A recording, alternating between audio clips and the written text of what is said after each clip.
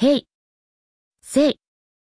ジャンプナイナイ、アンコールグルメに悶絶、A ネーションでやべっちかき氷復活、ウエスト。来店8人組グループヘイ、セイ。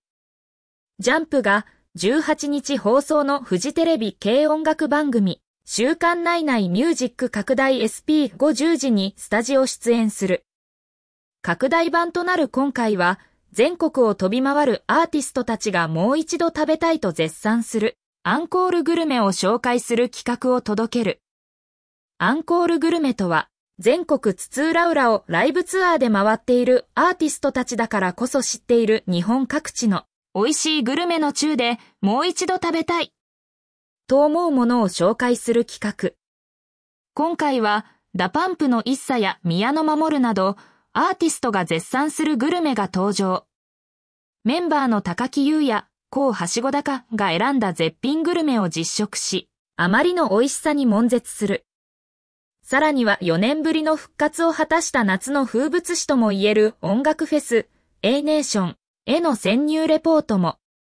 かつて平成のお茶の間を笑顔にしためちゃかけるにいけてるの人気企画やべっち寿司がやべっちかき氷として同番組でリニューアル。9月1日に味の素スタジアムで開催された A ネーションのバックステージに急遽出展し、当時とそっくりな店構えに出演アーティストを驚かせた。偶然にも廊下を通りかかったこの日の A ネーションに出演したウエスト。高田組、大 CE、東方新規、日遊、浜崎あゆみを、店長やべっち、矢部博之と出演アーティストの熱狂的ファンでお店の常連岡村隆史が迎え、近況トークを繰り広げる。普段見ることのできないイベントのバックステージでのアーティストの素顔にも注目。さらに、ウエストのメンバーからのやや強引な誘いで、ナイナイも A ネーションのステージに立つことに。一切の告知なしで行われた伝説のステージも見どころとなる。